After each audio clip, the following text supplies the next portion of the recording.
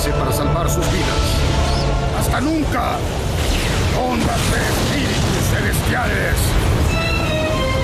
No te pierdas el último capítulo de Los Guerreros del Zodiaco. El lienzo perdido. Este lunes, 21 horas, solo por ETC.